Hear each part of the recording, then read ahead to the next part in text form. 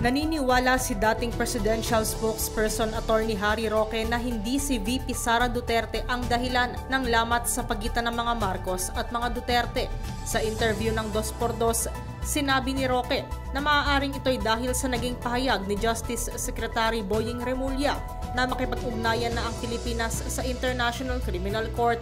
Matatandaan na hinahabol ng ICC si dating Pangulong Rodrigo Duterte dahil sa kanyang madugong gyera kontra droga sa pananaw ni Roque, naging mitya ang ICC kaya tila nagkaroon ng lamat sa relasyon ng mga Duterte at Marcos.